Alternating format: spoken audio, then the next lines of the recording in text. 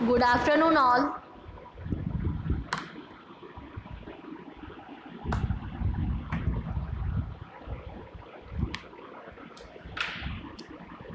So today we are going to discuss the topic flower. हमने previous lecture में study किया था that plant की दो सिस्टम होती हैं root system and shoot system okay shoot system में थी पार्ट्स uh, होते हैं लीफ स्टैम फ्लावर ओके ये सारे पार्ट्स होते हैं शूट सिस्टम के तो हमने लास्ट लेक्चर में स्टैम एंड लीफ स्टडी कर लिया है. ना today we are going to discuss the topic flower the flower is the reproductive organ of the plant flower है वो रिप्रोडक्टिव ऑर्गन होता है प्लांट का. It comes in various colours shapes and sizes and give off fragrances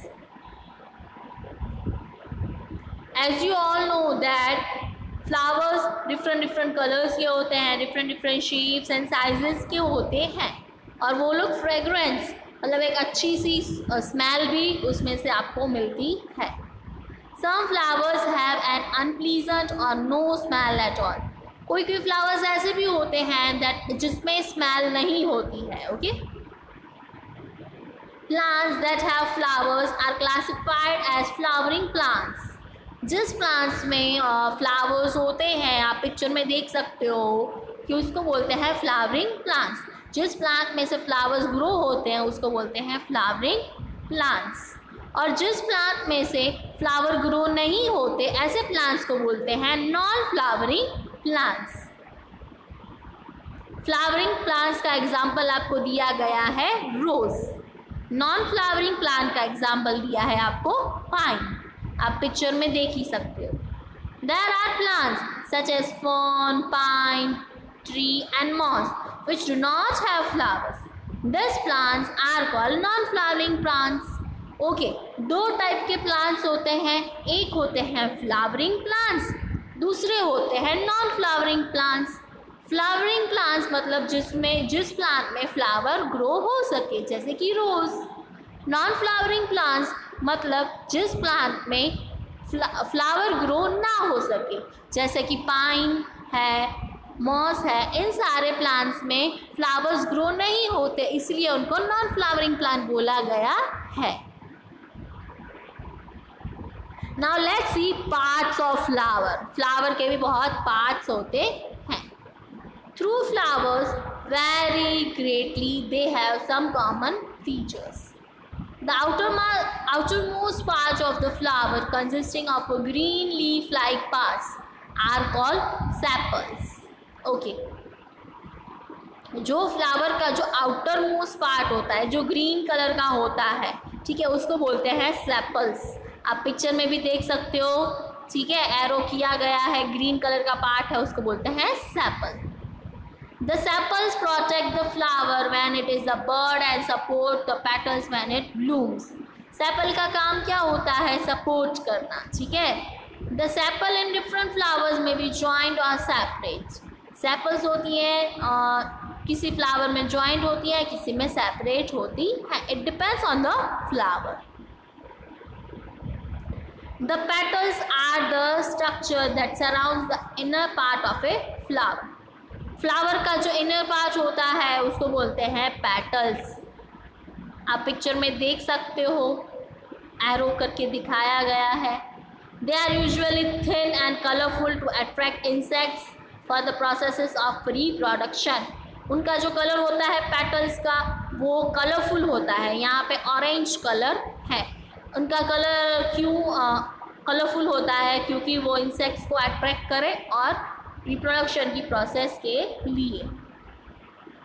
sepals का colour green होता है and petals का colour colourful होता है ओके डिफरेंट टाइप्स के कलर्स होते हैं। Some plants have white flowers with sweet fragrances to attract insects. किसी किसी फ्लावर की पेटल्स के कलर होते हैं वाइट यहाँ पे ऑरेंज है, ठीक है? पेटल्स एंड डिफरेंट फ्लावर्स में भी ज्वाइंट और सेपरेट पेटल्स भी किसी में ज्वाइंट होती हैं किसी में सेपरेट होती हैं तो इस स्लाइड में हमने स्टडी किए दो पार्ट्स एक outer most outer most part है sepal and inner most part है pattern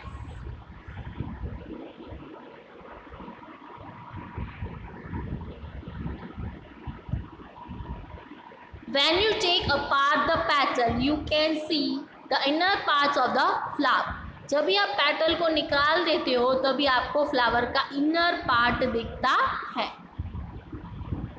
The male part of the flower consist of stamen जो फ्लावर का मेल पार्ट होता है उसमें स्टेमन होता है। आप पिक्चर में देख देख सकते हो स्टेमन स्टेमन का पिक्चर है। The stamen is made up of stalk like part called filament which is stopped by sac-like anther. The anther contains pollen grains, the fine powdery substance needed, needed for the process of reproduction. Okay. जो stamen होता है ठीक है? स्टेमन में स्टेमन मतलब mail part होता है flower का। स्टेमन में तीन चीज़ें होती हैं। एक होता है anther connective tissues and filaments okay so each stamen filament से बनता है ठीक है?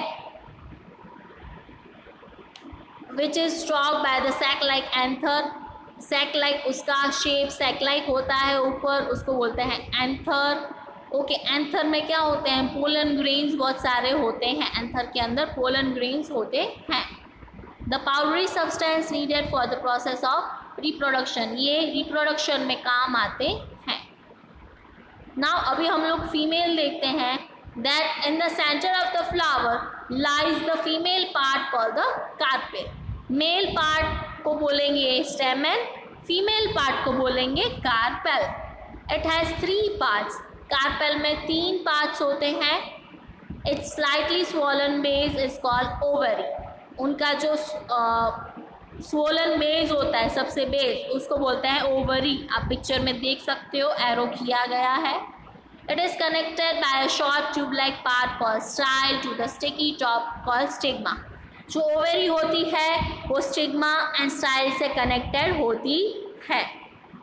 The ovary contains tiny bead like structures called ovules ovary के अंदर ओव्यूल्स प्रेजेंट होते हैं। पिक्चर में आप अच्छी तरह से देख सकते हो दैट ओवरी के अंदर ओव्यूल्स प्रेजेंट होते हैं।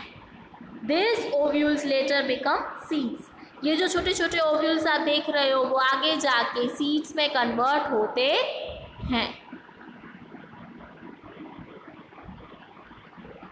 So here our flower part is completed now next and last topic of the chapter is pollination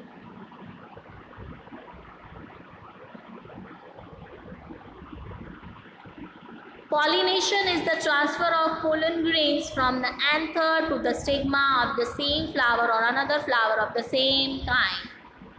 Okay. Now, pollination होता क्या है Pollination मतलब transfer of pollen grains. Pollen grains का transfer होता है एंथर में से स्टिग्मा में, ठीक है? उसको बोलते हैं पॉलिनेशन सेम फ्लावर में भी होता है और अनदर फ्लावर में भी होता है. This process takes place with the help of the wind water और इंसेक्ट्स ये जो पोलन ग्रेन्स का जो ट्रांसफ़र होता है एक फ्लावर में से दूसरे फ्लावर में या तो एक ही फ्लावर में से, एक ही फ्लावर के एंथर में से, स्टिग्मा में से ओके ये ट्रांसफ़र किसके थ्रू होता है? तीन चीज़ों के थ्रू विंड के थ्रू वाटर के थ्रू और इंसेक्ट्स के through transfer of pollen grains होता है। पिक्चर में दिखाया गया है पॉलिनेशन बाय इंसेक्ट्स इंसेक्ट्स जो है, वो एक जगह से पॉलन ग्रेन्स लेके दूसरे फ्लावर्स में छोड़ आते हैं।